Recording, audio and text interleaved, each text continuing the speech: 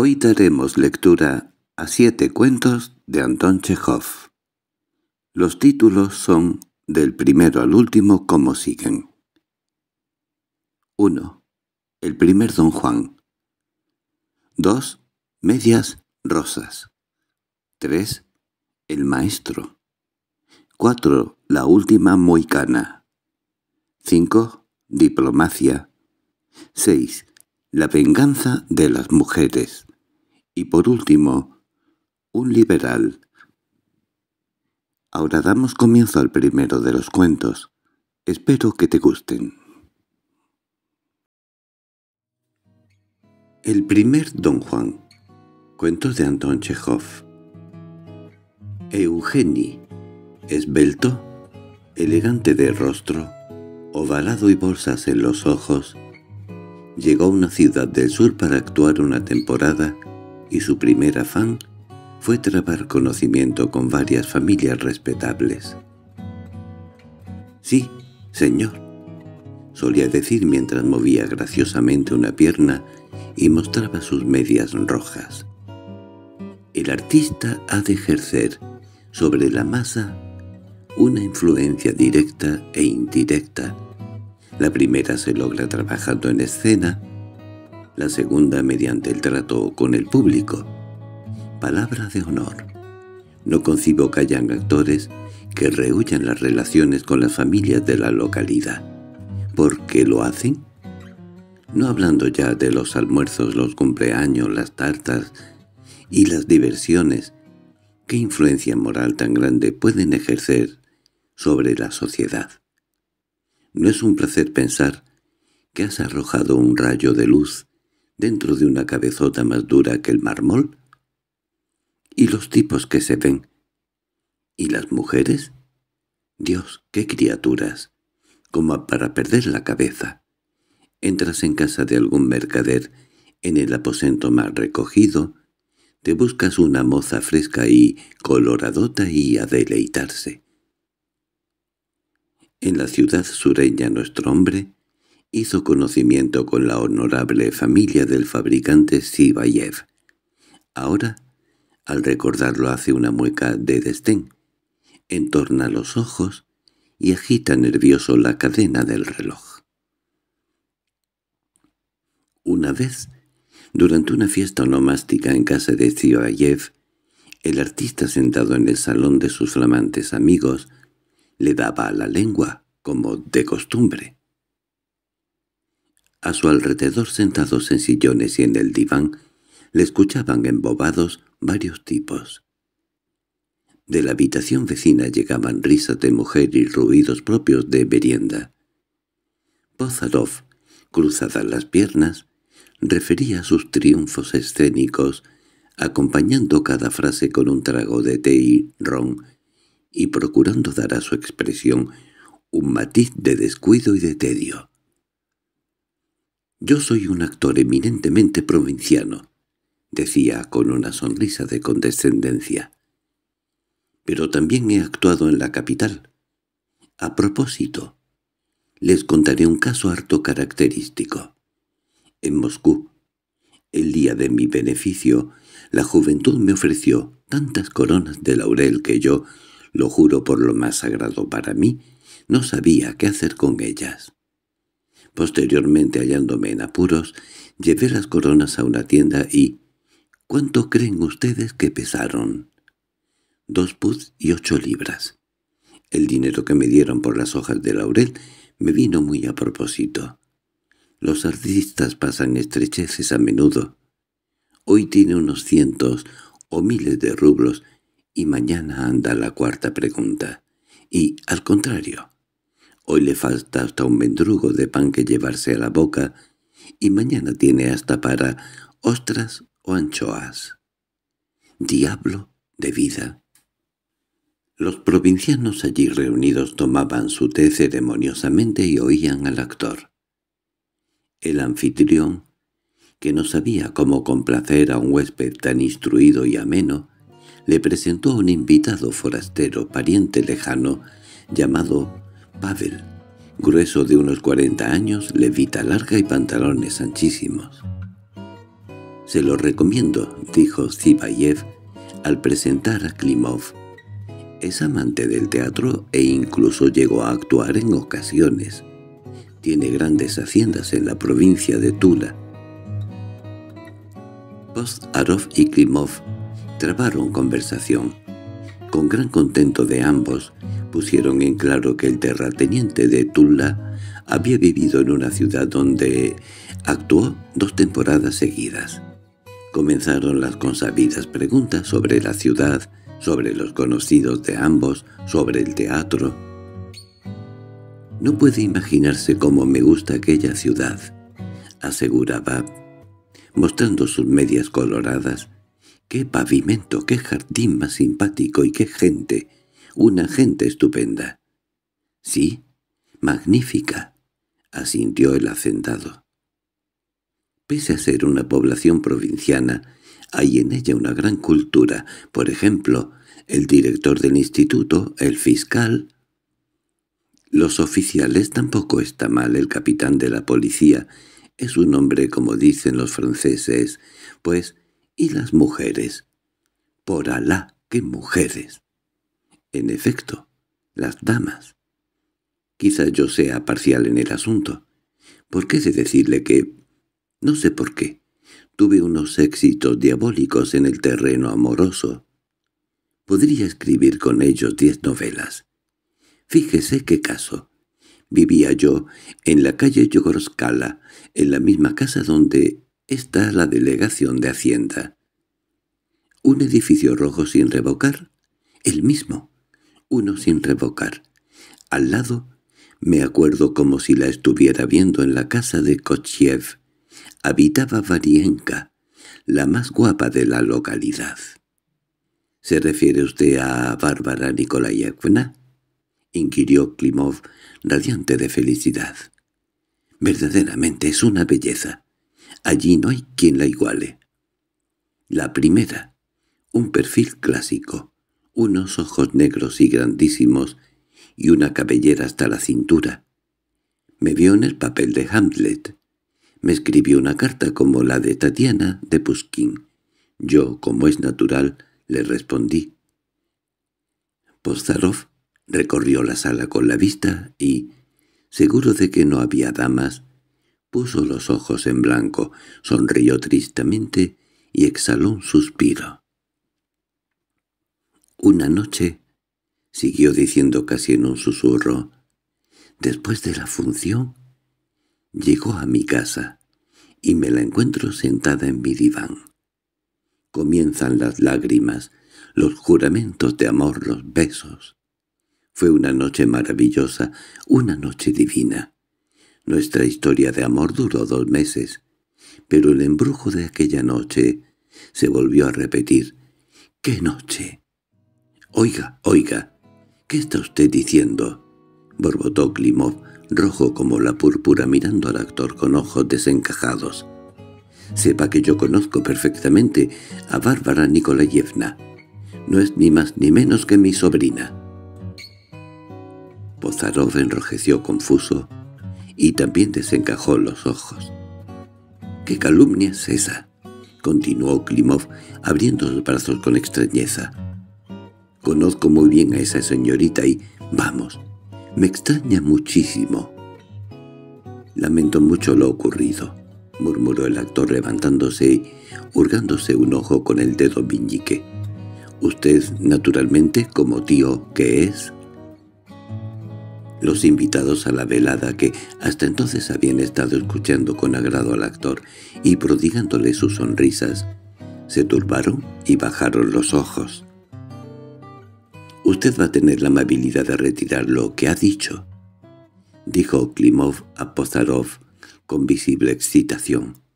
«Le ruego que lo retire». «Sí, es que...» «Eso ofende, ¿eh? Lo retiraré por usted», contestó el actor haciendo una ademán de significación indefinida. «Y confiese que ha mentido». «¿Yo? No, señor. No he mentido, pero pero lamento en el alma mi indiscreción. Por otra parte, no encuentro apropiado ese tono de usted. Klimov Iba de un rincón a otro en silencio, entre meditativo e irresoluto. Su adiposo rostro enrojeció más aún y se le hincharon las venas del cuello. Al cabo de un par de minutos, se llegó al actor y le dijo con voz implorante. «Tenga la bondad de confesar que es incierto lo que ha dicho respecto a Varienka. Hágame ese favor». «¡Qué gracia!» Se encogió de hombros Postarov, sonriendo forzadamente y moviendo la pierna. «Esto es hasta insultante. ¿Quiere decir que no se retracta?» «No le comprendo». «¿Se niega, pues?» En tal caso perdone, pero me veo obligado a recurrir a medidas desagradables. O yo le ofendo aquí en este mismo instante, o, si es usted un caballero, tendrá que aceptar mi desafío. Nos batiremos a pistola. —¿De acuerdo? —recaló, haciendo un gesto despectivo a su disposición. Los huéspedes y el anfitrión, perplejos y confusos en extremo, se llevaron aparte a Klimov y se pusieron a rogarle que no diese un escándalo. En las puertas del salón aparecieron las caras alarmadas de algunas damas.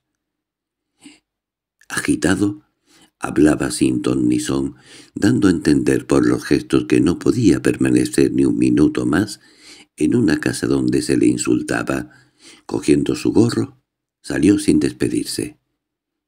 Camino de su casa iba sonriendo y levantando los hombros como con desprecio, pero una vez en su habitación se tendió en el diván y se sintió embargado de gran inquietud. «¡Diablo!» pensaba. «El duelo no es lo peor. No me va a matar. Lo malo está en que se enterarán los amigos y todos ellos saben perfectamente que es mentira lo que he dicho. ¡Qué asco! Me cubriré de oprobio. Tras un rato de meditación encendió un cigarro y salió a la calle para serenarse. «¿Y si hablase con ese Borbón?» se dijo. Le metería en ese cabezorro de idiota la idea de que es un estúpido, un animal. Se detuvo ante la casa de Sibayev y miró a las ventanas. Aún estaban encendidas las luces y tras las cortinas de gasa se veían figuras en movimiento. «Esperaré un poco», decidió. La noche era oscura y fría. Caía una llovizna desapacible, fina, como pasada por un tamiz. Pozarov apoyó el codo en una farola y notó que su intranquilidad iba aumentando. Empapado por la lluvia, terminó desesperándose. A las dos de la madrugada comenzaron a salir los individuos de la casa de los Zibayev. El último en aparecer fue el terrateniente de Tula, que exaltado un suspiro que llenó toda la calle, comenzó a azotar las losas de la acera con sus pesados chanclos. «Permítame un instante, nada más que un instante», le abordó, alcanzándole. Klimov se detuvo. El actor sonrió. Hizo unos arrumacos y dijo con lengua tartamuda. «Confieso... confieso que mentí». «No, señor. Eso tiene usted que confesarlo públicamente», tronó Klimov enrojeciendo de nuevo hasta las orejas. «Ese asunto no lo dejo yo así». «Pero le estoy pidiendo perdón. Le estoy suplicando, ¿entiende? Se lo ruego porque, hágase cargo, un duelo provocará mil habladurías y yo tengo un trabajo. Dios sabe lo que pueden pensar mis compañeros. El actor pretendía mostrar serenidad, sonreír, mantenerse erguido, pero el cuerpo no le obedecía, la voz temblaba, los párpados se estremecían con azorado pestañeo y la cabeza se le bajaba instintivamente. Estuvo un rato dando explicaciones confusas. Klimov le oyó, hizo sus cálculos y suspiró. «Bueno, así sea. Dios le perdonará. Pero no vuelva a mentir, jovencito. Nada envilece al hombre tanto como la mentira. Sí, señor, un hombre joven como usted, instruido». El terrateniente de Tula Con paternal bonachonería le echó un sermón, y el actor le oyó con risa beatífica. Cuando Klimov concluyó su perorata, el actor la rubricó con una sonrisa enseñando los dientes, hizo una reverencia y, encogido todo él, con andar incierto y aire de contrición, se encaminó a la fonda. Media hora después, al acostarse, se sentía ya fuera de peligro y lleno de optimismo. Tranquilo y satisfecho por el feliz desenlace del conflicto, se arrebujó en la manta y estuvo durmiendo, con sueño profundo, hasta las diez de la mañana. Fin Medias rosas Cuento de Anton Chekhov El día está nublado y lluvioso. El cielo lleva mucho tiempo encapotado y parece que la lluvia no va a cesar nunca. En el patio hay barro, charcos, grajos empapados hasta los huesos, y en las habitaciones reina tal oscuridad y es tan intenso el frío que se añora el fuego de la estufa. Iván recorre su gabinete de un rincón a otro gruñendo contra el tiempo. Las lágrimas de la lluvia en las ventanas y las tinieblas de la casa comienzan a fastidiarle. Siente un aburrimiento insoportable, y no encuentra otro modo de matar el tiempo. Ni han traído aún los periódicos, ni es posible salir de cacería, ni será pronto la hora del almuerzo. No está solo. Sentada tras su mesa de escritorio, se encuentra Madame Somova, su guapa y menuda mujercita, con una ligera blusa y medias color carne. Está escribiendo una carta. Iván, al pasar por detrás de ella en sus incesantes paseos, mira el papel por encima de su hombro y ve unas letras grandotas, cojas, estrechas y largas, con rabos y garabatos disparatados. Ve también infinidad de borrones, manchas y huellas de los dedos. A Madame Somova no le gusta cortar las palabras y cada renglón, al llegar al extremo del papel, cae hacia abajo como una cascada, horriblemente retorcido. —¿A quién le escribes esa carta tan larga? —pregunta Somov al ver que su esposa se dispone a comenzar la sexta página. —A mi hermana Varia ¡Qué larga! A ver, déjame que la lea para matar el aburrimiento. Bueno, pero te advierto que no vas a encontrar nada de interés. Somov coge las hojas escritas y, sin cesar en sus paseos, comienza a leer. Lidoska se inclina en el respaldo y permanece atenta a la expresión de su marido. Al terminar la primera página, la cara de éste se alarga en un gesto de estupefacción. Al comenzar la tercera, frunce el ceño y se rasca lentamente la cabeza. En mitad de la cuarta se detiene. Mira con recelo a la mujer y se pone pensativo. Después de cavilar un instante, suspira y reanuda la lectura. Su rostro denota perplejidad y hasta miedo. «Imposible», refunfuña al terminar, arrojando los papeles sobre la mesa. «Es imposible». «¿Qué pasa?» se asusta Lidochka. «¿Qué, qué pasa?» Pues pasa que has rellenado seis páginas, que has invertido en escribirlas más de dos horas y... ni una sola idea en todas ellas. Leyéndolas termina uno con la cabeza tarumba, como cuando trata de entender los garabatos chinos en las cajas de té. ¡Uf!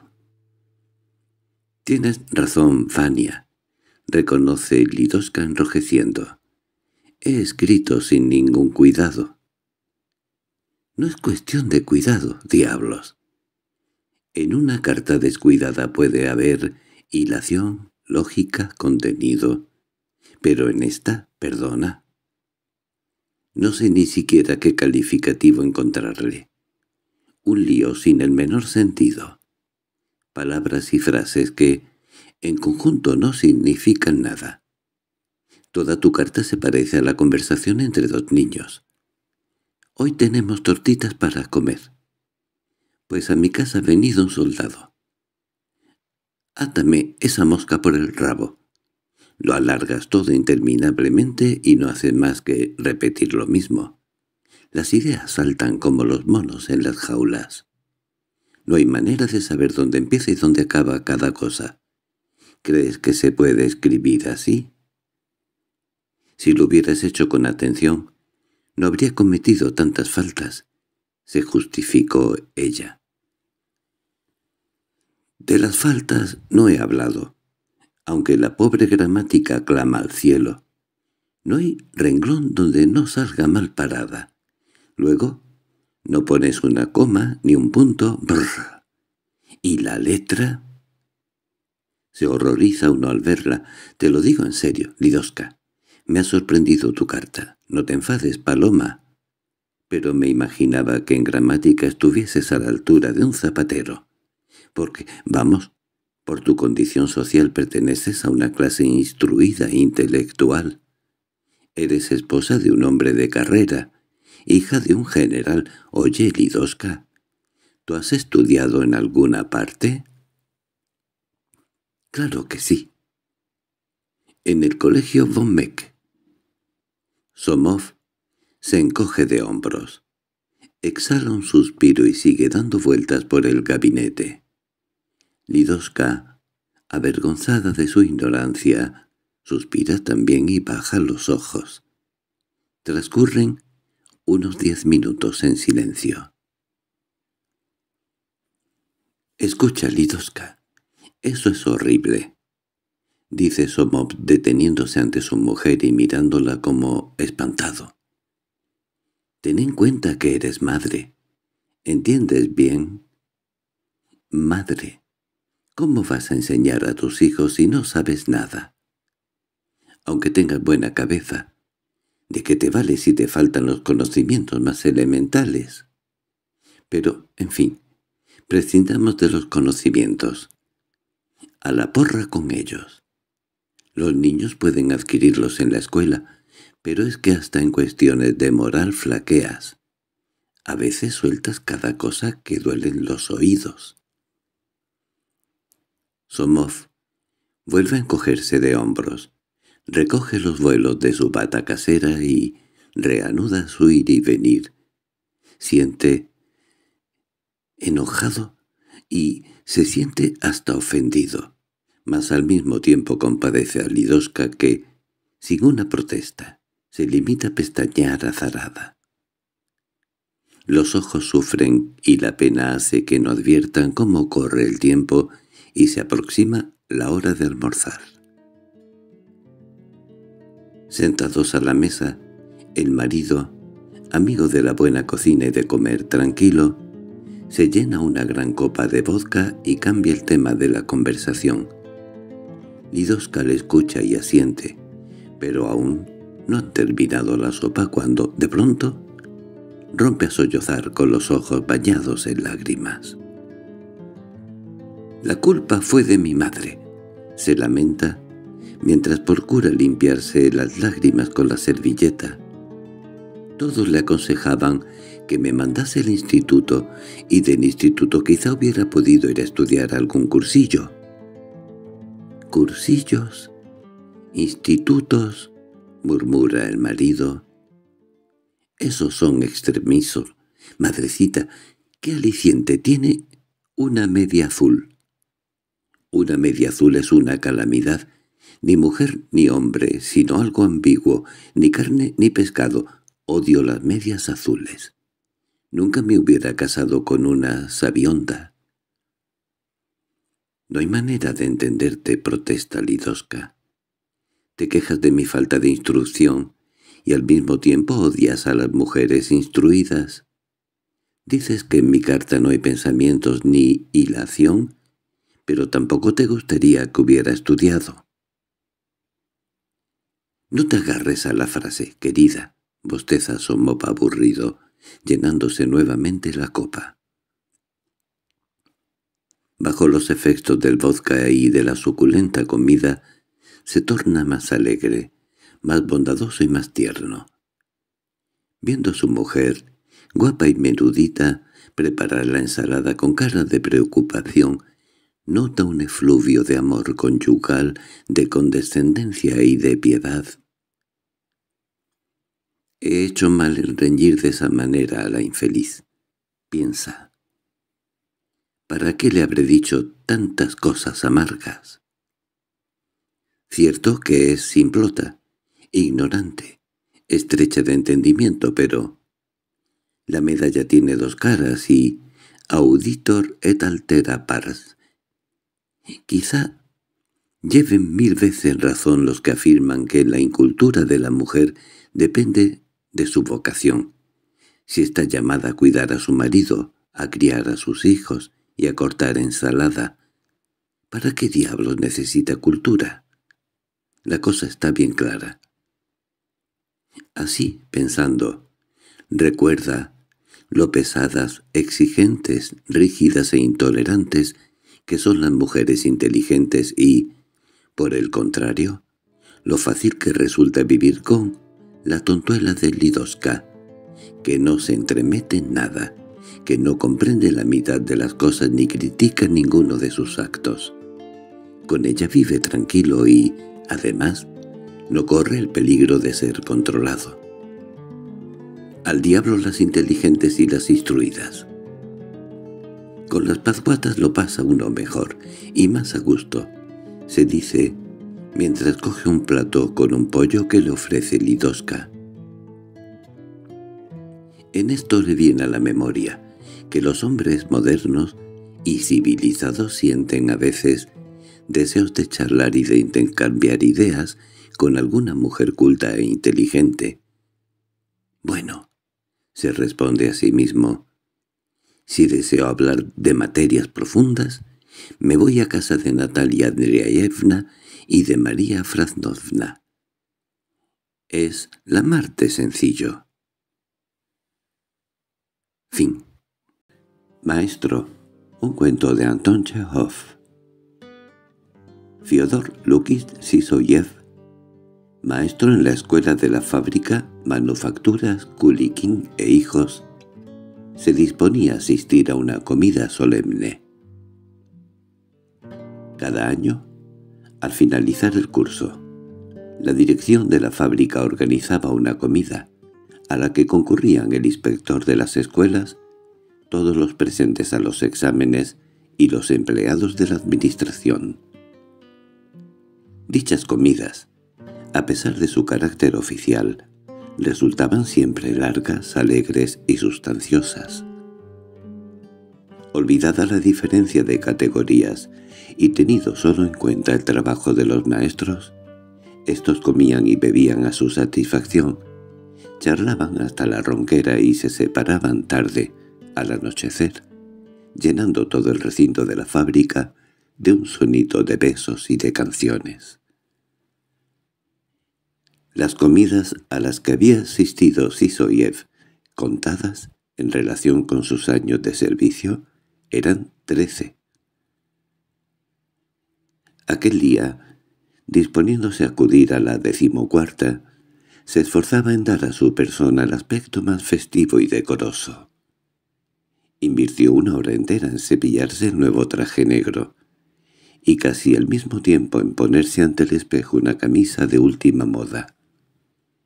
Los gemelos no entraban fácilmente en los ojales, y ello atrajo sobre su mujer toda una tormenta de quejas, amenazas y reproches. La pobre mujer, de tanto dar vueltas a su alrededor, quedó desfallecida. También él acabó agotado, y cuando le trajeron de la cocina las botas de tirantes, le faltaban fuerzas para metérselas. Tuvo que echarse y beber un poco de agua. —¡Qué débil te has quedado! —suspiró la mujer. —Mejor sería que no fueras a esa comida. Te ruego que ahorres los consejos, la cortó, enfadado, el maestro.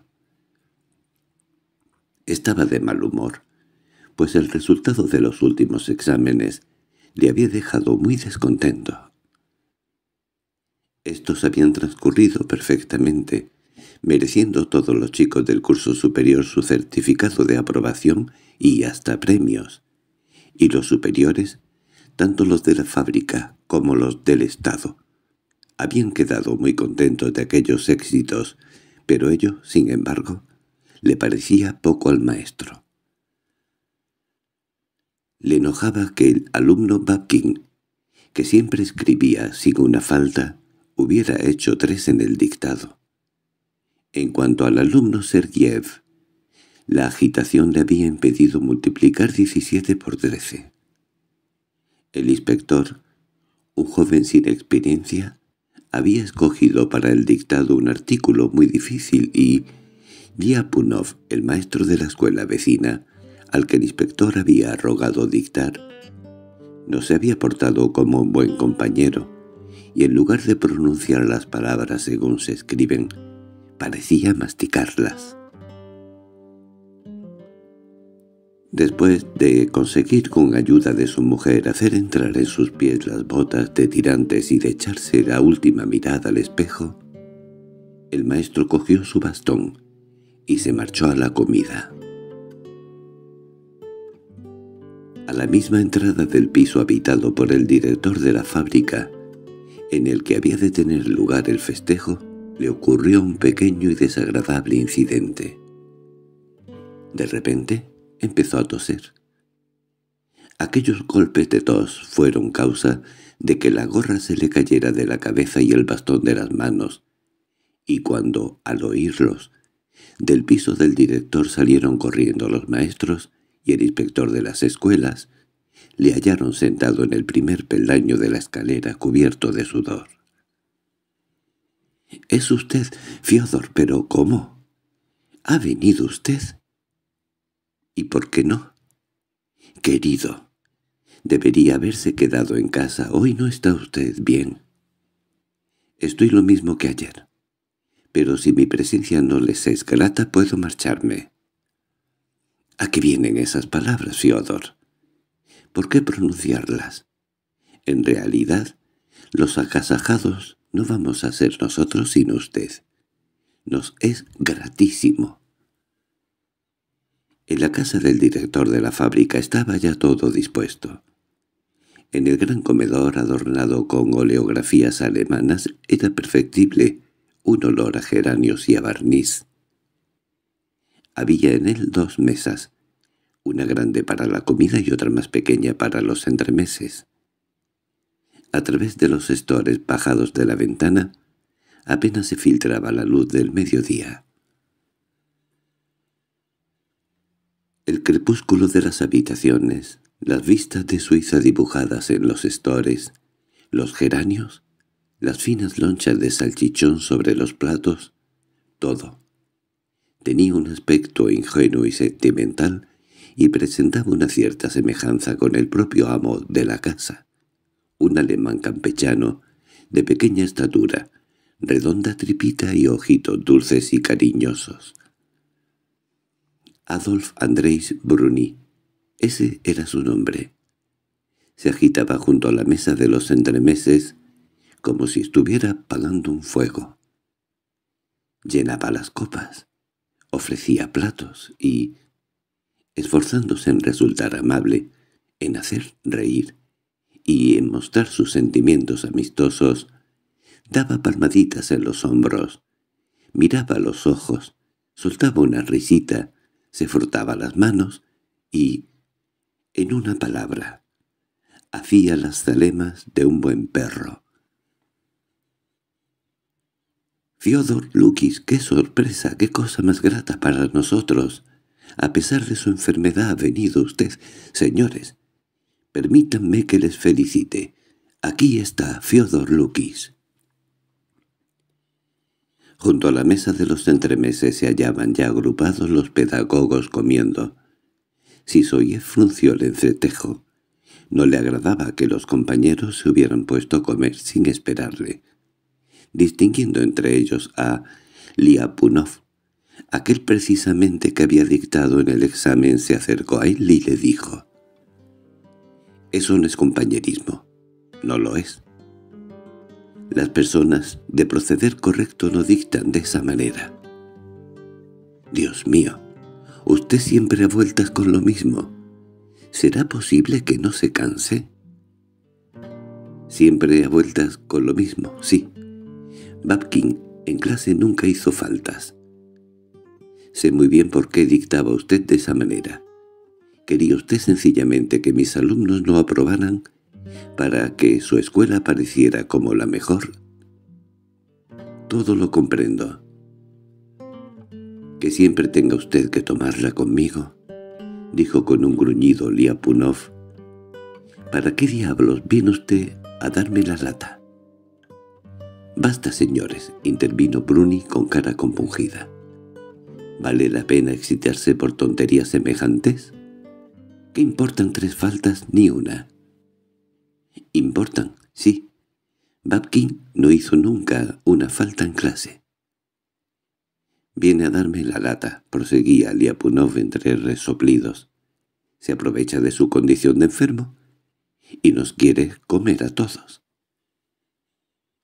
Pues yo, amigo mío, le prevengo que no miraré que esté usted enfermo. —Deje en paz mi enfermedad —gritó irritado Sisoyev. —¿A usted qué le importa eso? Todos con lo mismo. Enfermedad, enfermedad. ¿Qué falta me hace a mí su interés? ¿Y de dónde ha sacado que estoy enfermo? Lo estuve, sí, antes de los exámenes, pero estoy completamente bien y lo único que ocurre es que me he quedado débil. —¿Que está usted bien? —Pues gracias a Dios —dijo el profesor de religión, padre Nicolai, sacerdote joven, vestido con una sotana color castaño. Lo que tiene que hacer entonces es alegrarse en lugar de excitarse. —Pues usted también —le interrumpió Sisoyev. Hacía usted unas preguntas que parecían adivinanzas. Las preguntas tienen que ser claras y directas. De otro modo no es posible. Al cabo, entre todos, consiguieron calmarle y hacer que se sentara a la mesa. Tras invertir largo rato en escoger bebida, acabó bebiendo con una cara agria media copa de un líquido verde. Después se sirvió un trozo de pirog, de cuyo relleno separó meticulosamente los pedazos de huevo y cebolla. El primer bocado de pirog le puso a soso y le echó sal, pero en el acto lo apartó de sí enfadado, pues el pirog resultaba ahora excesivamente salado. Sisoyev estaba sentado a la mesa entre el inspector y Bruni y, Después del primer plato, según costumbre establecida hacía largo tiempo, los brindis dieron comienzo. «Considero un grato deber», empezó diciendo el inspector, «dar las gracias a los protectores ausentes de la escuela, Dani Petrovich y... y... e Iván Petrovich», le apuntó Bruni, «e Iván Petrovich Kulikin, ya que no escatiman medios para su sostenimiento y propongo beber a su salud. Por mi parte, dijo Bruni, levantándose como si le pincharan, propongo un brindis a la salud de nuestro estimado inspector de escuelas, Pavel Ganatyevich Nadarov. Las sillas se movieron. Sonrieron los rostros y empezó el acostumbrado chocar de copas. El tercer brindis correspondía a Sisoyev. También esta vez se levantó y empezó a hablar. Con semblante grave y después de toser empezó declarando que no tenía el don de la elocuencia y que hablaba sin preparación. A continuación dijo que durante los catorce años de su servicio había habido allí muchas intrigas, muchas zancadillas y hasta denuncias contra él, y que aunque conocía a sus enemigos y denunciantes, no quería nombrarlos por no estropear a nadie el apetito. Sin embargo, y a pesar de aquellas intrigas, la escuela de los Kurilin ocupaba el primera categoría en toda la región, y no solo en el sentido moral, sino también en el material.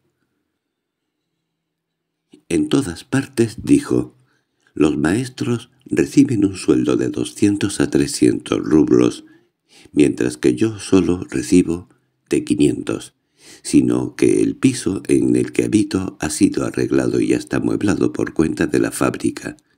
Este año todas sus paredes fueron empapeladas de nuevo. Después el maestro se refirió a la amplitud con que los alumnos, en comparación con los colegios regionales y los del Estado, disponían de material escolar. Todo esto en opinión suya. No lo debía la escuela a los propietarios de la fábrica que, por residir en el extranjero, ignoran seguramente la existencia de aquella, sino a un hombre de alma rusa, a pesar de su origen alemán y su fe luterana. Sisoyev estuvo hablando largo tiempo, con pausas y florituras, resultando su discurso ingrato y monótono.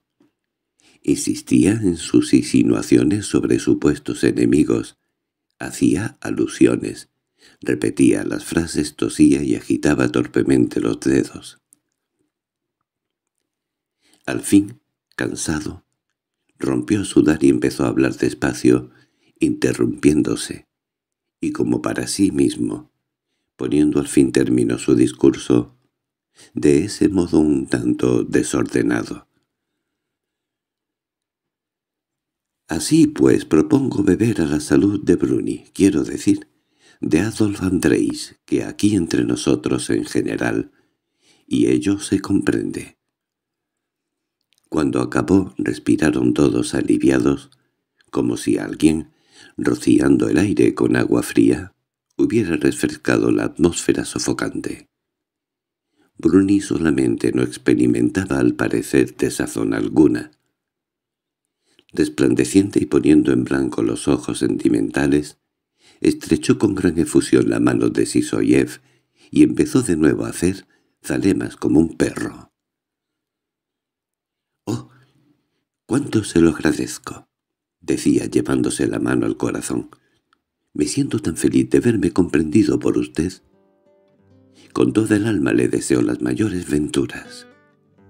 Solo he de hacerle observar que exagera mis méritos. A quien la escuela debe su florecimiento es a usted, mi estimadísimo amigo Fiodor. Si usted está, no se hubiera distinguido de las otras. Tal vez piense usted, el alemán hace cumplidos, el alemán gasta finura, ja, ja, ja, no, alma mía. Fiodor, Lukix. Yo soy un hombre honrado que nunca hace cumplidos. Si le pagamos 500 rublos al año, es porque nos es usted preciso. ¿No es así, señores? Estoy diciendo la verdad. A ningún otro hubiéramos pagado ese sueldo. Una buena escuela honra a una fábrica. Sinceramente de confesar, dijo el inspector, que su escuela es en efecto extraordinaria. No piensen que esto es incienso. En mi vida nunca tuve ocasión de encontrar una escuela igual. Durante los exámenes no salía de mi asombro. ¡Qué maravilla de muchachos! Lo que saben, Contestan sin vacilar y tienen una compostura especial. No son asustadizos y sí, sí, son sinceros. Y se ve que le quieren, Fiodor. Es usted pedagogo hasta la médula de los huesos. Seguramente nació usted ya siéndolo. Tiene todas las condiciones precisas. Vocación innata, experiencia de muchos años y amor al trabajo sencillamente asombrosos, si se tiene en cuenta lo delicado de su salud, con su energía, su conocimiento del trabajo y, ¿usted me entiende?, su seguridad. Alguien dijo con razón en el consejo pedagógico que era usted un poeta de su profesión. Eso justamente, un poeta, un poeta. y los comensales unánimemente todos a una se pusieron a hablar del extraordinario talento de Sisoyev. Se diría que se habían abierto las compuertas de una presa. Los discursos sinceros y entusiastas fluyeron. Esos discursos que sólo pronuncia el hombre cuando se mantiene en una calculadora y cautelosa sobriedad. El discurso de Sisoyev su carácter insoportable, la expresión aviesa y desagradable de su rostro estaban olvidados. Todos hablaban, hasta los tímidos y callados maestros de reciente nombramiento. Esos pobres jóvenes apocados que llaman al inspector señoría. Era evidente que Sisoyev tenía gran relieve en su círculo. Acostumbrado, sin embargo, durante catorce años de servicio a los éxitos y a las alabanzas, escuchaba indiferentemente el entusiasta retumbar de voces de sus admiradores. Era Bruni a quien en el lugar de él embriagaban las lisonjas. El alemán cogía al vuelo cada palabra, resplandecía, palmoteaba, se ruborizaba tímidamente, como si aquellas alabanzas estuvieran destinadas a él y no a su maestro. «¡Bravo! ¡Bravo!» Gritaba. «¡Exacto! Me adivinaron ustedes el pensamiento. Perfecto». Luego miraba al maestro, como deseando compartir su beatitud. Por último, no pudiendo contenerse por más tiempo, se levantó de un salto y cubriendo todas las voces con la suya chillona de tenor gritó. «Señores, permítanme que les hable. En respuesta a cada una de sus palabras, solo puedo decirles lo siguiente. La administración de la fábrica no quedará deudora a Fyodor Lukix». Todos callaron. Sisoyev alzó los ojos hacia el rostro sonrosado del alemán. «Sabemos valorar los méritos», prosiguió Bruni, poniendo cara seria y bajando la voz. Y en respuesta a cada una de sus palabras he de decirles que la familia de Fyodor Luki será asegurada, habiendo sido ya depositada para ello en el banco la cantidad necesaria. Sisoyev, perplejo, miró interrogativamente al alemán y a sus compañeros preguntándose por qué era su familia la que iba a ser asegurada y no él. Y en ninguno de los rostros, en ninguna de las miradas inmóviles fijas sobre él, leyó compasión ni esa falta de sentimiento de condolencia que pudiera resultarle insoportable, sino otra cosa, algo semejante a una terrible verdad. Algo que en un instante llenó todo su cuerpo de frío y su alma de una inexplicable desesperación. Pálido y contorsionado, el rostro se levantó de repente de un salto y se cogió la cabeza entre ambas manos. Por espacio de un cuarto de minuto permaneció en esa actitud, mirando espantado y fijamente ante sí, como si contemplara ya aquella muerte cercana a la que había aludido Bruni. Luego sentándose rompió a llorar. «Vaya, vaya, ¿qué le pasa?» oía decir a voces inquietas. «Agua, beba agua, beba agua». Pasado algún tiempo, el maestro se tranquilizó, pero la animación anterior había abandonado ya a los comensales. La comida terminó en medio de un silencio sombrío y mucho antes que en años precedentes. Cuando Sisoyev volvió a su casa, lo primero que hizo fue mirarse al espejo. «Naturalmente. ¿Qué necesidad tenía de haber llorado allí?» pensaba, contemplando sus ojos, sus profundas orejas y sus mejillas hundidas. «Mi dolor de cara, mi color es Hoy mucho mejor que ayer. Lo que pasa es que tengo anemia y catarro intestinal. También la tos es intestinal. Tranquilizado con estos pensamientos, se desnudó lentamente y después de invertir largo rato en cepillar el traje negro, lo dobló cuidadosamente y lo encerró en el cajón de la cómoda. Luego, acercándose a la mesa en la que se amontonaban los cuadernos de los alumnos, extrajo de ellos el de Babkin, se sentó y se sumergió en la contemplación de la bella escritura infantil. Mientras repasaba el dictado de sus alumnos, en el aposento inmediato se hallaba sentado el médico de la región, diciendo en voz baja a la esposa que no se podía dejar asistir a una comida al hombre a quien solo le queda una semana de vida. Fin. La última moicana. Un cuento de Anton Chekhov. En una espléndida mañana de primavera, el terrateniente Dokukin, capitán de caballería retirado, y yo, en cuya casa me encontraba de huésped, sentados en cómodos sillones de abuelo, mirábamos perezosamente por la ventana. Nos aburríamos terriblemente. —¡Qué asco! —mascullaba Dokukin. —¿Está uno tan aburrido? que vería venir con gusto aunque fuera a un inspector de policía. ¿Y si me tumbara a dormir? pensaba yo. La idea del aburrimiento nos estuvo pensativos durante largo, muy largo rato, hasta que de pronto a través de los cristales de las ventanas, con reflejos de arco iris, por no haber sido lavados en mucho tiempo, pudimos observar que en el torbellino de nuestro universo se verificaba un pequeño cambio. El gallo subió junto al portalón sobre un montón de hojas secas del año anterior, y ocupado en levantar tan pronto una pata como la otra, su deseo era levantar las dos. Se encrespó de repente y, como si algo lo hubiera picado, salió del portalón. —¿Alguien llega? ¿A pie o en coche? —sonrió Dokukin. El que sea, sea bienvenido. Nos traerá un poco de distracción. El gallo no nos había engañado.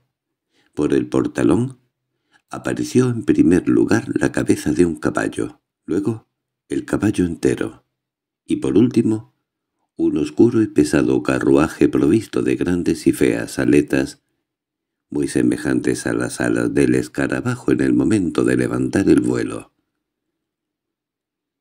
El carruaje entró en el patio.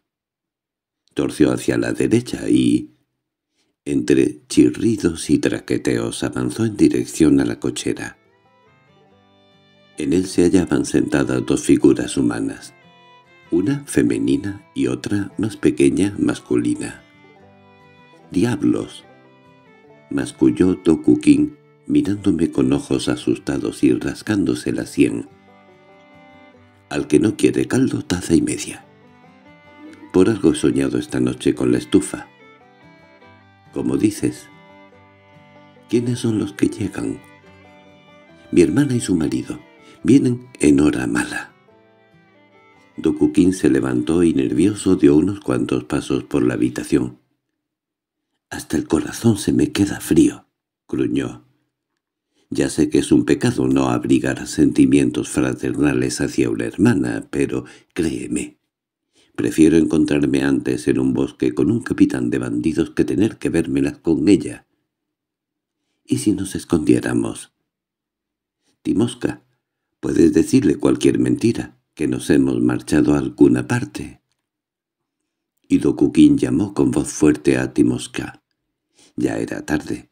Sin embargo, para mentir y para esconderse. Un minuto después, en el vestíbulo se oía un cuchicheo. Una voz femenina de bajo hablaba en un murmullo con otra masculina de tenor. «Arréglame el último volante de la falda», decía el bajo femenino. «Otra vez te has puesto los pantalones que no tenías que ponerte». Los pantalones azules se los dio usted a tío Basilian Tripich, y los de mezclillas me mandó usted que los guardara hasta el infierno. se disculpaba el pequeño tenor. —¿Tengo que llevarle el chal o manda usted que lo deje aquí? Al fin se abrió la puerta. Y en la estancia entró una dama alta, más bien gruesa, fofa y vestida de azul claro. Su rostro, pecoso, de rojas mejillas, llevaba impresa tal expresión de embotada importancia que yo comprendí en el acto por qué Tokukin la quería tan poco. Tras la dama gruesa y dando menudos pasitos entró un hombrecito pequeño y delgado, vestido con una levita con dibujos en colores, anchos pantalones y chaleco de terciopelo. Era estrecho de hombros. Estaba afeitado y tenía una diminuta y roja nariz. Sobre su chaleco colgaba una cadena de oro muy parecida a la de la lamparita que ardía ante la imagen. Su indumentaria sus movimientos, su porte, todo su cuerpo mal configurado, dejaba traslucir un algo humildemente esclavizado y rebajado. La señora entró, y como si no hubiera reparado en nuestra presencia, se dirigió a los iconos y se santiguó. —Santíguate —dijo a su marido. El hombrecito de la pequeña y roja nariz se estremeció y empezó también a santiguarse. «Buenos días, hermana», dijo Tokukin con un suspiro, dirigiéndose a la dama cuando ésta terminó de rezar. La dama sonrió con mesura y tendió sus labios hacia los de Tokukin. El hombrecillo quiso también darle un beso. «Permítame que haga las presentaciones», mi hermana Olimpiada Yegrovna Kulinka, su marido, Dosifei Andréis, un buen amigo. —Encantada —dijo largando las sílabas Olimpiada Yegrovna, y sin ofrecer la mano. —Encantada. Nos sentamos y permanecimos un minuto callados. —Seguramente no esperabais estos huéspedes —dijo Olimpiada Yegorovna, dirigiéndose a Tokukin. —También yo pensaba venir a visitarte, hermanito. Pero como tenía que ir a ver al mariscal de la nobleza, de paso... —¿Y para qué vas a verle? —preguntó Tokukin. —¿Cómo que para qué? —Para presentar una queja contra éste. Y la dama indicó con la cabeza a su marido. Dosifei Andréis bajó la vista, metió los pies debajo de la silla y tosió azarado tapándose la boca con la mano. —¿Y de qué vas a quejarte de él? Olimpiada Yegorovna suspiró. —Se olvida de su rango —dijo. —Ya otras veces me he lamentado de ello contigo y con tus padres. También le he llevado al padre Gregorio para que le amonestara y yo misma he empleado con él toda clase de procedimientos. Pero ninguno tuvo éxito. Forzosamente me veo obligada a molestar al mariscal de la nobleza. ¿Pero qué es lo que ha hecho? Hacer no hizo nada. Pero no tiene conciencia de su rango. Beber, eso sí, no bebe. Es un hombre tranquilo y respetuoso. ¿Pero de qué le sirve nada de eso, si después no se acuerda de cuál es su rango? Mírale ahí, todo encogido, como un solicitante cualquiera. ¿Acaso los nobles se sienten así? —Siéntate como este vido, ¿oyes? Dosifei Andréis estiró el cuello, levantó la barbilla, sin duda disponiéndose a sentarse como era debido. Miró asustado y de soslayo a su mujer, de la misma manera que mira a los niños cuando se sienten culpables. Dándome cuenta de que la conversación adquiría un giro íntimo y familiar, me levanté para marcharme. Jliquina reparó en mi movimiento. —No importa, quédese —dijo, deteniéndome. A los jóvenes les conviene escuchar. Aunque no seamos sabios, hemos vivido mucho. Que Dios conceda a todos vivir lo que hemos vivido nosotros. De paso, hermanito, comeremos contigo, dijo Quiquilina, moviéndose hacia su hermano. Me figuro que tendréis comida a base de carne. Con seguridad te has acordado que hoy es miércoles. Suspiró. Para nosotros tendrás que disponer que preparen comida de vigilia. De carne, lo quieras o no, hermanito. No comeremos. Dokukin hizo venir a Timosha y le encargó hiciera la comida de vigilia. Comeremos y nos iremos después a ver al mariscal de la nobleza prosiguió Kikilina. Le suplicaré que preste atención al asunto. Es cosa suya cuidar de los nobles, de que los nobles guarden el debido comportamiento. Pero... ¿Es que el comportamiento de Doseif no es bueno? Preguntó Tokukin. Parece enteramente que es la primera vez que le ves, dijo Jukilina, frunciendo el entrecejo. A decir verdad, a ti también te da todo lo mismo. Tú tampoco te acuerdas demasiado de tu rango. Pero preguntemos a este joven. —¿Joven? —se dirigió a mí. —¿Es correcto, según su parecer, que un noble haga amistad con cualquier pelagatos? —Depende de quién sea éste —contesté con cierta vacilación. —Por ejemplo, con el comerciante Gustev. Yo a ese Gustev no le hubiera permitido jamás atravesar el umbral de la puerta mientras que él, en cambio, juega con él a las damas y va a comer a su casa. ¿Está acaso conforme con las conveniencias de ir de caza con el escribano? ¿De qué se puede hablar con un escribano? Un escribano, no diré conversar, ni siquiera debería atreverse a abrir la boca delante de él si le interesa a usted saberlo, señor mío. —Soy débil de carácter —murmuró Dosifei Andreich. —Ya te haré yo ver cómo es tu carácter —le amenazó su mujer golpeando enfadada con la sortija sobre el respaldo de la silla. —No te consentiré que pongas en ridículo tu apellido. Aunque seas mi marido te avergonzaré. Has de comprender que yo soy la que te saqué adelante. La casa de los King, señor mío, no vale un comino. Y si yo, nacida Dokukina, me casé con él tiene que saber apreciarlo y darse cuenta de qué ello significa. Mi marido, si quiere usted saberlo, señor mío, me sale bastante caro. Lo que me costó colocarle. Pregúntele a él. Si le interesa saberlo, le diré que solo por el examen de primer grado tuve que pagar 300 rublos. ¿Y por qué hago todo esto? ¿Crees, bobo, que es por ti? Pues no lo creas. Es el apellido de nuestro linaje, lo que me es querido. Si no fuera por ese apellido, hace mucho que estarías pudriéndote en la cocina si quieres saberlo. El pobre Dosife y Andrés escuchaba y guardaba silencio, limitándose a acurrucarse en su asiento. No sé si por miedo o por vergüenza. Durante la comida tampoco le dejó en paz su severa cónyuge. No apartaba de él los ojos, observando cada uno de sus movimientos. «Échale sal en la sopa. No coges bien la cuchara. Separa de ti la ensaladera, te vas a tropezar con la manga. No parpadees. Él engullía deprisa.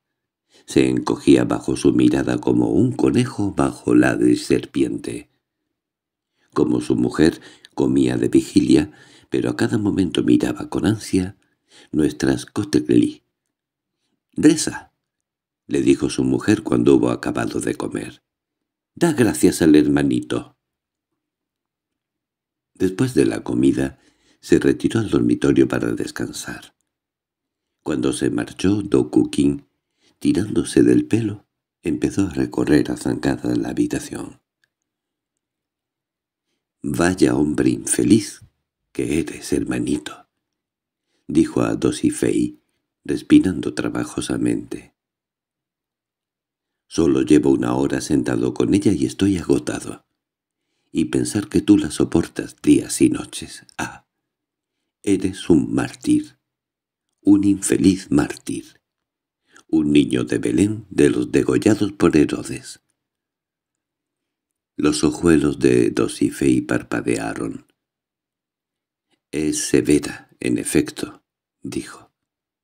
«Pero tengo que pedir a Dios por ella día y noche, ya que por su parte solo recibo beneficios y cariño».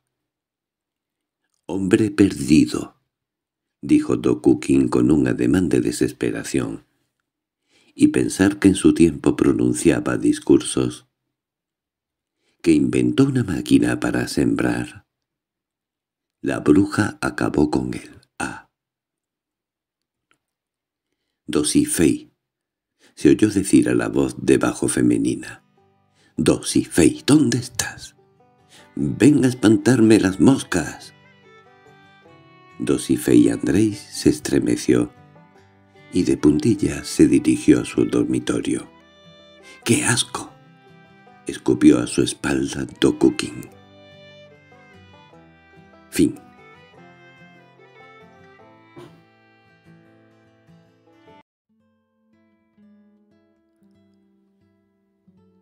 Diplomacia. Un cuento de Anton Chekhov. Ana Lubovna Kubaldina, esposa de un consejero titular, acababa de fallecer. ¿Qué hacer? Se preguntaban los parientes y amigos. Habría que informar al marido. Aunque estaban separados, no hay duda de que él la quería. Hace unos días vino a verla y, puesto de rodillas, le suplicó, «Anuska, ¿cuándo me perdonarás aquel momento de devaneo?» y otras cosas por el estilo. Convendría comunicárselo. Aristari Ivanis se dirigió llorosa, una tía al coronel Piskarov, que tomaba parte en el consejo de familia. Aristari Ivanis, Usted como amigo de Mikhail Petrovich, haga el favor de llegarse a su oficina para informarle de la desgracia. Ahora, bien. No se lo suelte de sopetón, no sea que le suceda algo. Ya sabe que es hombre enfermizo. Prepárele primero y luego ya...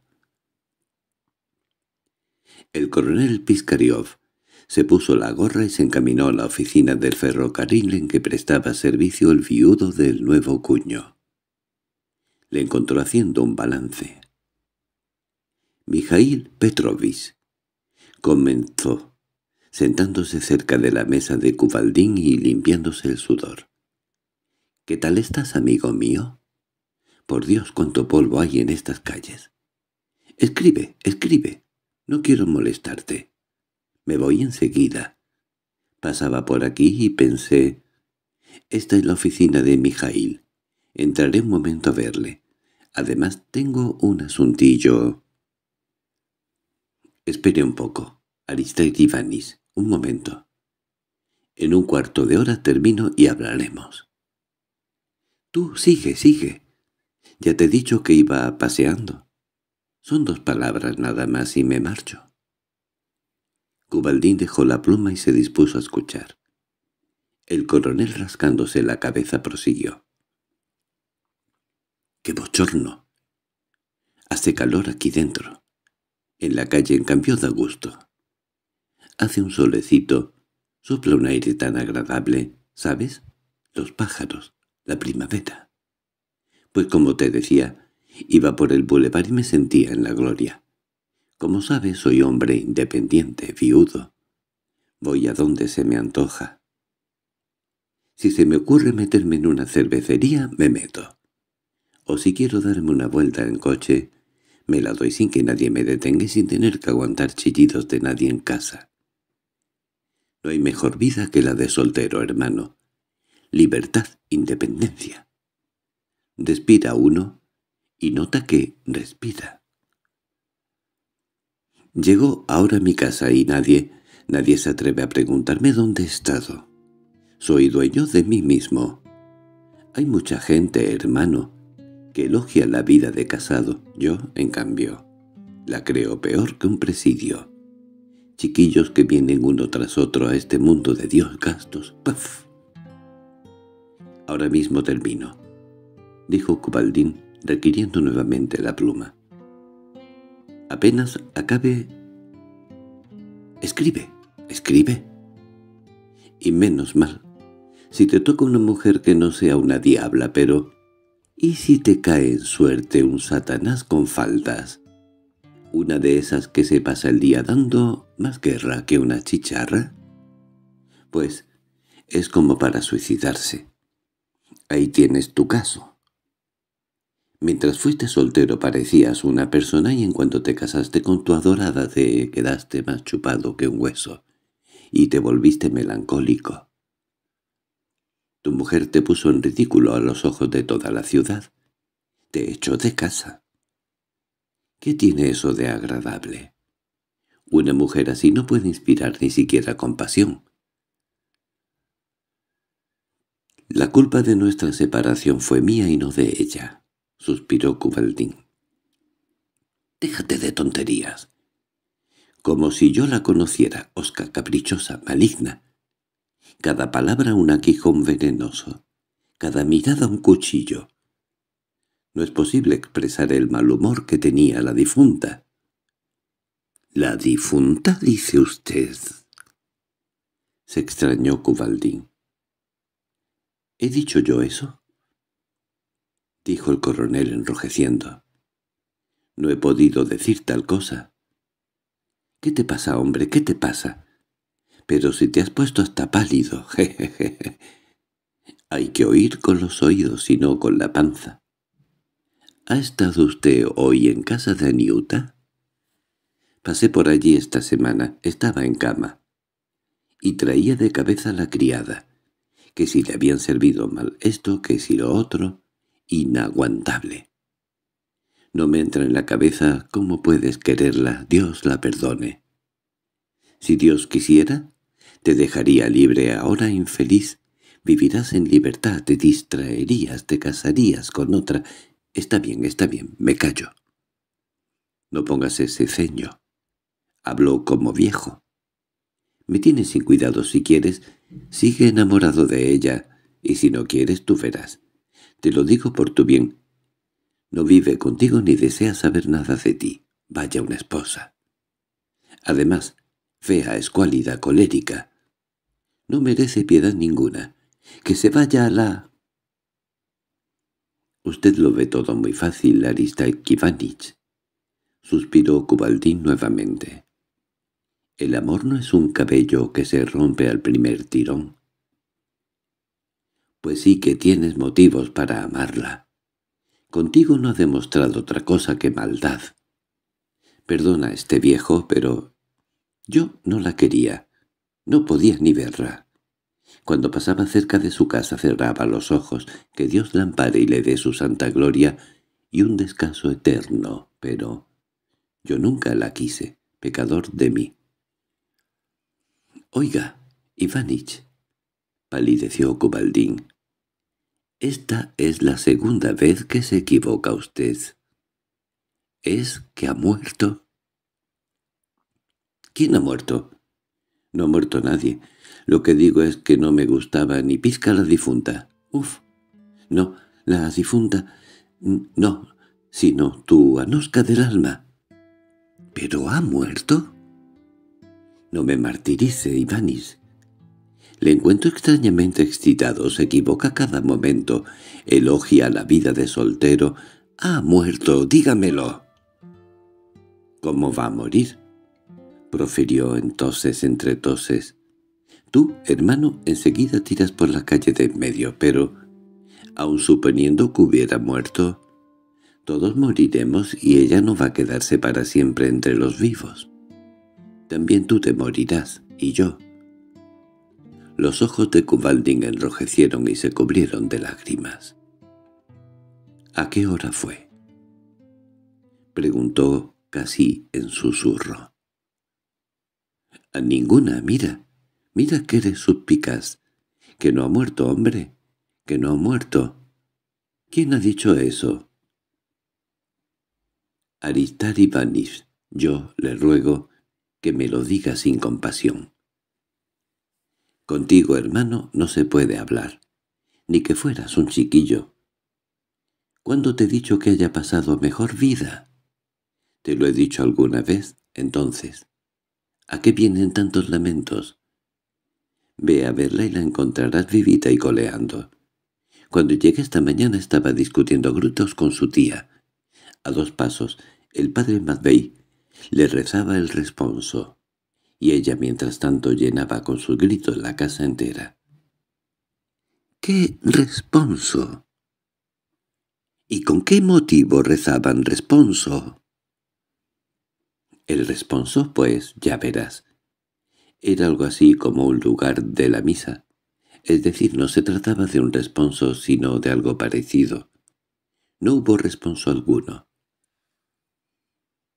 Aristari Ivanis, hecho un lío, se levantó y, volviéndose a la ventana, se puso a toser. —¿Tengo una tos, hermano?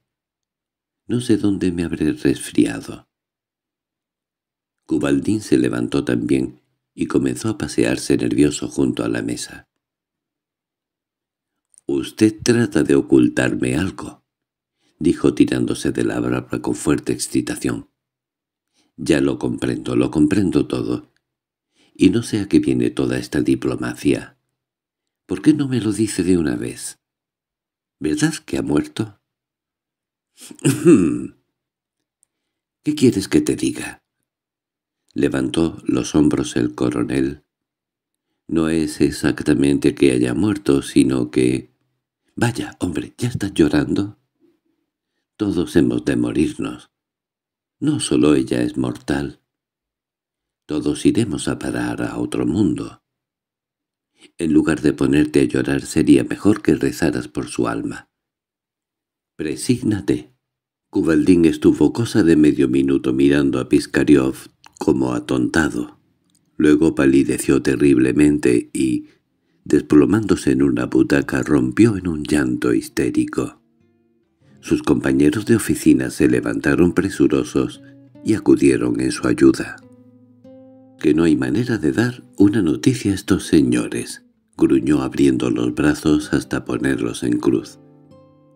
Rompe a llorar y uno se pregunta por qué. —¿Estás en tu juicio, Misha? —preguntó a Cubaldín zarandeándole. Todavía no se ha muerto. ¿Quién te ha dicho que haya muerto? Al contrario, los médicos dicen que aún quedan esperanzas. Misha, eh, Misha, te aseguro que no ha muerto. ¿Quieres que vayamos juntos a su casa? Llegaremos a tiempo para oír el responso. ¿Qué digo yo? No es el responso a lo que llegaremos sino al almuerzo. Michenka, te juro que vive todavía. Que Dios me castigue si miento. Que se me salten los ojos. ¿No me crees? En ese caso vamos a verla. Me llamarás lo que quieras. ¿Cómo se te ha ocurrido todo eso? No lo entiendo. Yo mismo he estado hoy en casa de la difunta, es decir, no, de la difunta no, no, sino fue... ¡Uh, qué asco! El coronel escupió desalentado y abandonó la oficina. Al llegar al domicilio de la difunta se dejó caer en un sofá y se llevó las manos a la cabeza. «Id vosotros», profirió desesperado. «Preparadle vosotros para recibir la noticia y a mí dejadme tranquilo.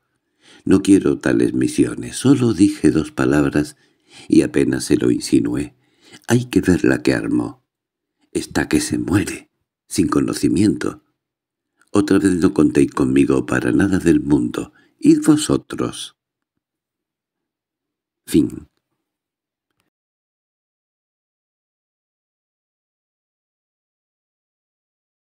La venganza de las mujeres. Un cuento de Anton Alguien tironeaba la campanilla. Nadina Petrovna, la dueña del apartamento donde ocurría la historia que se describe, se levantó del diván y corrió a abrir la puerta.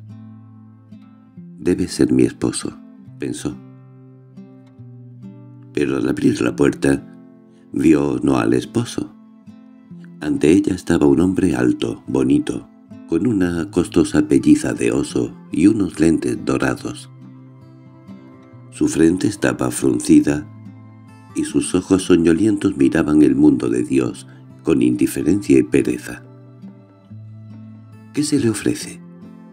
—preguntó Nadiezna Petrovna. —Yo soy el doctor, señora. A mí me llamaron aquí unos... Mmm. Usted es... Chelo Biotovi. Nosotros somos los Chelo Biotovi, pero, por Dios, disculpe, doctor. Mi esposo tiene flujo y fiebre.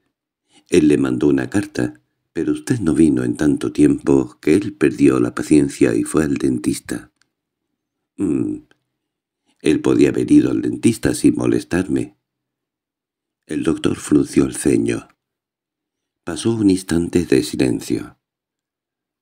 «Disculpe, doctor, que lo molestáramos y lo obligáramos a viajar en vano. Si mi esposo hubiera sabido que usted vendría, pues Créame, no hubiera ido al dentista, disculpe. Pasó aún otro instante en silencio. Nadiena Petrovna se rascó la nuca.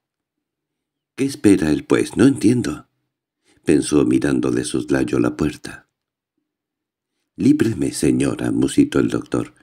No me retenga. El tiempo vale tanto, sabe que... O sea, yo, o sea, yo no lo retengo. Pero señora, no puedo yo irme, pues, sin recibir por mi trabajo... ¿Por el trabajo? Ah, sí. Empezó a farfullar Nadiezna Petrovna, sonrojada fuertemente.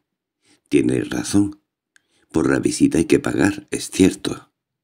Usted trabajó, viajó, pero, doctor, a mí hasta me da vergüenza. Mi esposo salió de casa y se llevó todo nuestro dinero. ¿En la casa yo ahora?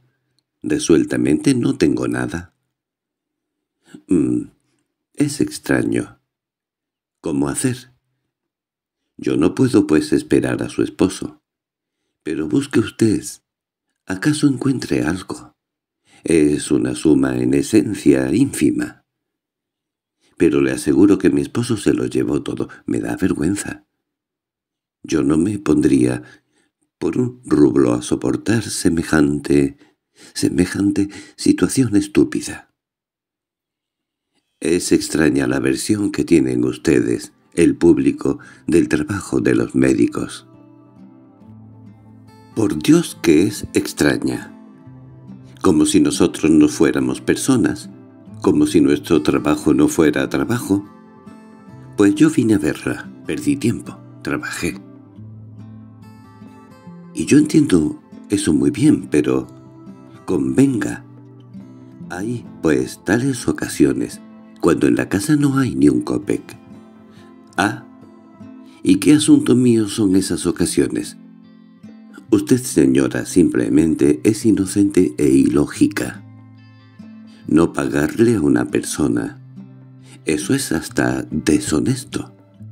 Se aprovecha de que yo la puedo entregar al juez de paz y tan sin ceremonia, por Dios. Es más que extraño. El doctor se turbó. Le dio vergüenza a la humanidad. Nadiezna Petrovna se encendió de disgusto.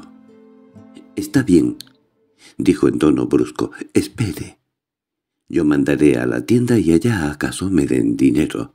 Yo le pagaré». Nadiezna Petrovna fue a la sala y se sentó a escribir una esquela para el tendero. El doctor se quitó la pelliza, entró en la sala y se arrellanó en la butaca. En espera de la respuesta del tendero, ambos se sentaron y callaron. A los cinco minutos llegó la respuesta. Nadiezna Petrovna sacó un rublo de la esquela y se lo metió al doctor. Al doctor se le encendieron los ojos. —Usted se ríe, señora —dijo él poniendo el rublo sobre la mesa. —Mi mozo, es posible que cobre un rublo, pero yo... No, disculpe. —¿Cuánto le hace falta? —Comúnmente yo cobro diez. A usted es posible. Le cobraré cinco, si quiere. Bueno, cinco. De mí no espere. Yo no tengo dinero para usted. Mande al tendero. Si él pudo darle un rublo, ¿por qué no puede darle cinco? ¿No es lo mismo acaso? Yo le ruego, señora, no me retenga. No tengo tiempo. Escuche, doctor. Usted no es amable, sino atrevido. No, usted es grosero e inhumano, ¿entiende? Usted es ruin. Nadiezna Petrovna se volteó hacia la ventana y se mordió el labio. De sus ojos brotaron gruesas lágrimas. —¿Canalla? ¿Miserable? —pensaba ella. —¿Animal? Se atreve, se atreve. No puede entender mi horrible lastimosa situación. Bueno, espera pues, diablo. Y tras pensar un poco, volteó su rostro hacia el doctor. Esta vez su rostro expresaba sufrimiento. Ruego. —Doctor —dijo con voz queda suplicante—, doctor, si usted tuviera corazón, si usted quisiera entender, no se pondría a atormentarme por ese dinero. Y sin eso ya hay bastante tormento, bastante tortura. Nadiezna Petrovna se oprimió la sien, y fue como si hubiera apretado un resorte. Sus cabellos se cernieron en mechones sobre sus hombros. Sufres por la ignorancia de tu esposo. Soportas este medio espantoso, penoso y Aquí aún un hombre educado se permite hacerle un reproche. Dios mío, esto es insoportable. Pero entienda pues, señora, que la situación especial de nuestro estamento. Pero el doctor tuvo que interrumpir su discurso. Nadiezna Petrovna se tambaleó y cayó sin sentido en sus brazos tendidos. Su cabeza se inclinó sobre su hombro. «Aquí», —A la chimenea, doctor —susurró ella tras un instante, más cerca. —Yo le voy a contar todo, todo. A la hora el doctor salía del apartamento de los Cheloviotovi. Sentía fastidio, vergüenza, deleite. ¿Qué diablos pensaba sentándose en el trineo? Nunca se debe tomar mucho dinero al salir de casa.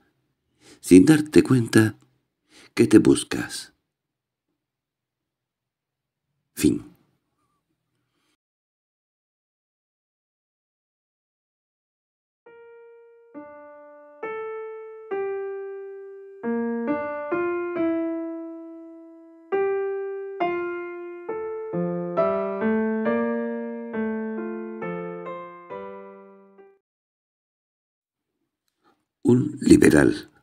Un cuento de Anton Chekhov. La humanidad presentaba un cuadro hermoso y conmovedor el día de Año Nuevo. Alegría, júbilo, felicitaciones. El ambiente estaba lleno de augurios más sinceros y cordiales. Todos se sentían contentos y felices. Solamente el secretario provincial, Panimayev, se mostraba disgustado. A mediodía, y en plena calle de la capital, manifestaba su protesta. Asido por el brazo derecho al poste de una farola y agitando la mano izquierda, como si se preservara de un enigmático ataque, murmuraba cosas imperdonables y previstas en el artículo. Su mujer le tiraba de una manga, con ánimo de llevárselo. Tenía la cara llorosa y triste. —Vente, Judas —refunfuñaba—, vente, que eres una plaga sin vergüenza, Mahoma. Te estoy diciendo que vengas. Vamos antes de que sea tarde y pon tu firma. Vamos, pedazo de borracho. Ni hablar. Soy persona ilustrada y no estoy dispuesto a inclinarme ante la ignorancia. Ve y firma tú si quieres, pero a mí déjame en paz. No me da la gana de ser esclavo. Anda, anda. Como no firmes, buena te va a caer encima. Te echarán del trabajo, so granuja, y me moriré de hambre. —¡Venga, perro! —Muy bien. Estoy dispuesto a morir. ¿Es por la verdad? Pues ahora mismo. Levantó Ponimayev la mano para zafarse de su mujer y descubrió en el aire un semicírculo. Un sargento de guardias, con flamante capote que pasaba por allí, se detuvo un instante y recriminó al alborotador. «Tenga un poco de vergüenza y compórtese como los demás». Ponimayev se azoró. Parpadeando como avergonzado, retiró el brazo de la farola. Aprovechando la ocasión, su mujer le arrastró tras de sí. Calle adelante tirándole de una manga y apartándose de todo cuanto pudiera servir de agarradero al marido. Al cabo de diez minutos, consiguió llevárselo hasta la entrada de la casa del jefe. «Entra, Alyosha», le invitó afablemente, empujando al marido hasta el porche. «Entra, Alyosha. No tienes más que firmar y salir. En recompensa te compraré té y coñac. Ni siquiera te reñiré cuando vengas borracho. Ten piedad de esta huérfana». «Ah, mm. con que esta es tu casa. Magnífico. Me alegro. Firmaremos. ¿Qué diablo? Firmaremos de modo que se acordará mucho tiempo se lo escribiré todo en este papel. Le diré cuál es mi opinión, que me eche. Pero si me echa, la culpa será tuya, tuya. Ponimayev tomó impulso, dio un empujón con el hombro a la puerta y penetró ruidosamente en el San Juan. Allí se hallaba el ujier Egor, recién afeitado, a tono con la festividad de Año Nuevo.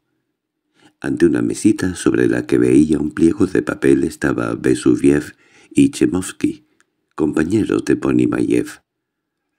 El primero alto y flaco. Se disponía a estampar su firma. El segundo, minúsculo y picado de viruela, estaba esperando el turno. Ambos llevaban en el semblante la salutación al jefe. «¡Feliz Año Nuevo!». Se adivinaba que sólo firmaban con la pluma, sino con el corazón. Al verlos Ponimayev sonrió despreciativo y se arrebujó indignado en su abrigo. Naturalmente, parloteó, naturalmente. ¿Cómo no felicitar a su excelencia? ¿Cómo no felicitarlo? ¡Ja, Hay que expresar los sentimientos lacayunos de cada cual. Vasuviev y Chimovinsky le miraron asombrados. Jamás habían oído tales palabras. ¿No es eso un acto de ignorancia de servilismo? prosiguió Ponimayev impasible. No firmes. Expresa tu protesta. Diciendo así, descargó un puñetazo en la mesa y emborronó la firma de Vesuviev. «Eso es insubordinarse, señor», exclamó Egor corriendo hacia la mesa y levantando el pliego de papel por encima de su cabeza. —¿Sabe usted lo que les pasa a los que...? En esto se abrió la puerta y entró un caballero alto de alguna edad, abrigo de oso y dorado sombrero de tres picos. Era Beleptov, el jefe de Ponimayev.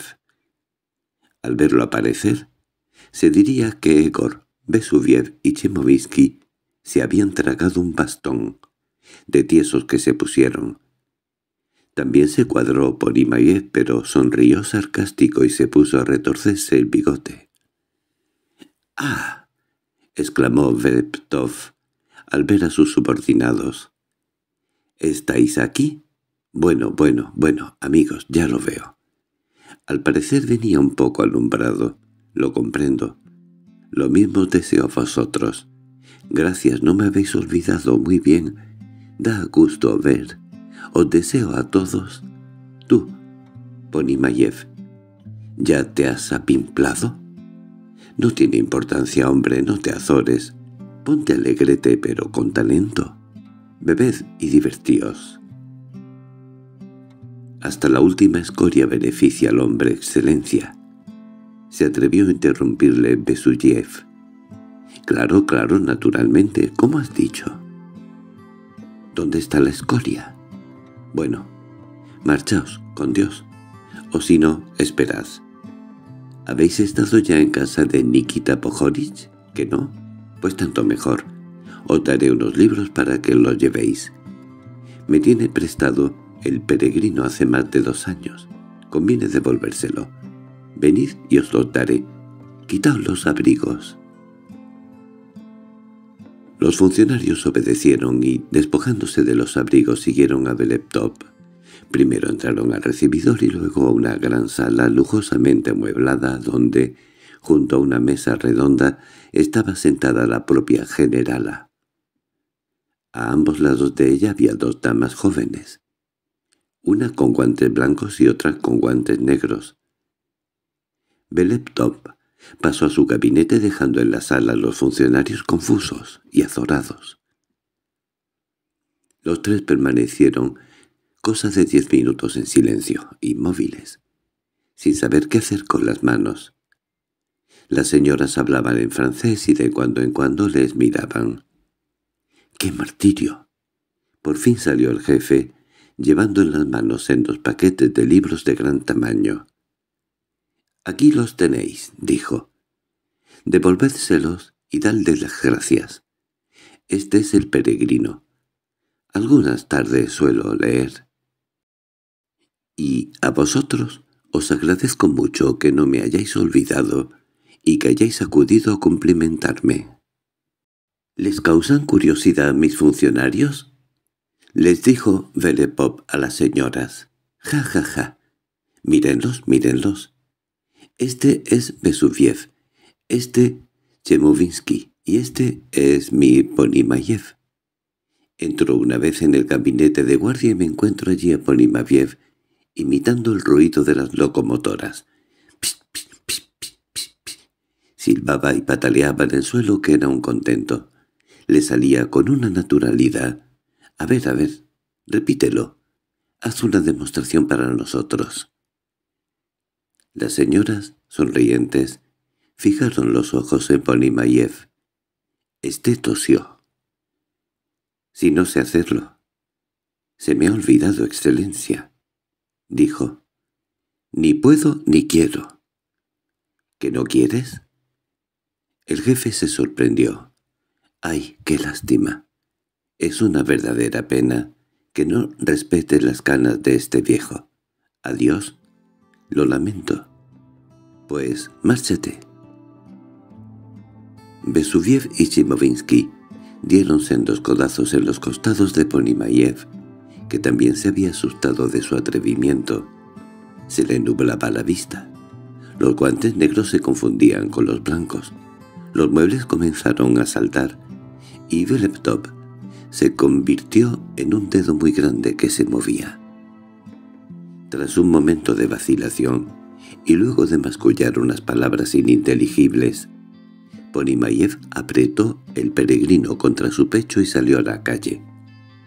A la puerta de la casa encontró a su mujer, pálida, temblorosa de frío y horror. Vesuviev y Chimovinsky estaban a su lado y, agitando las manos desordenadamente, le debían de estar contando algo espantoso, los dos a la vez y cada uno un oído. ¿Qué va a ser de él ahora?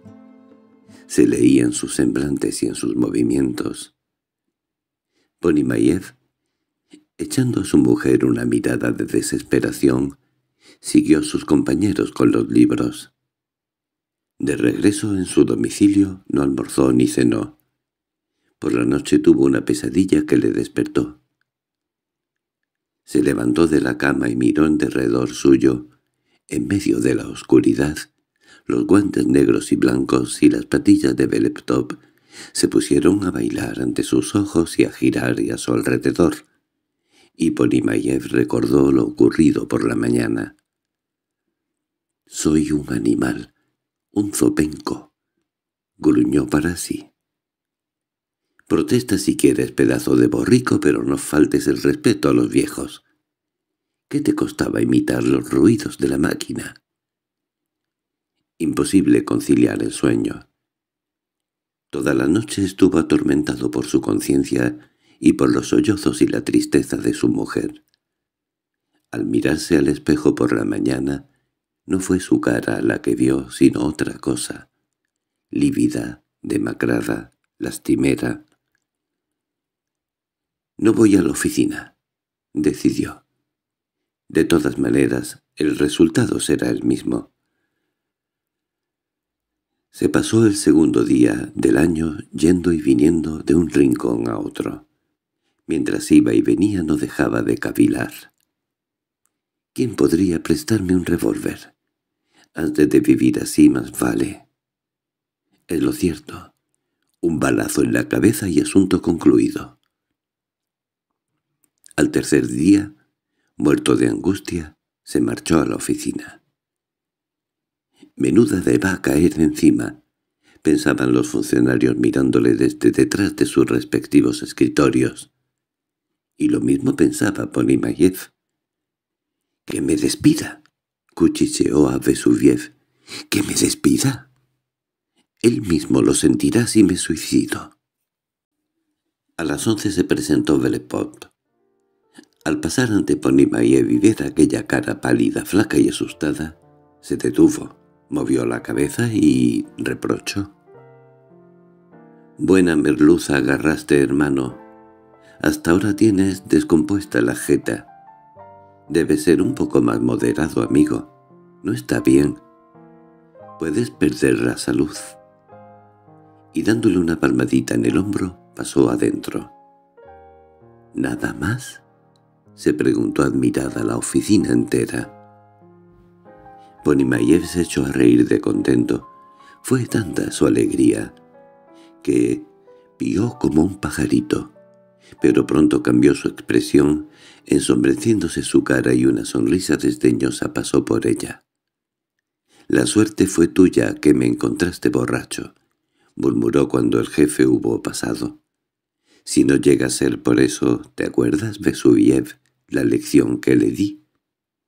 Al volver a su casa, Ponimayev almorzó con un apetito magnífico. Fin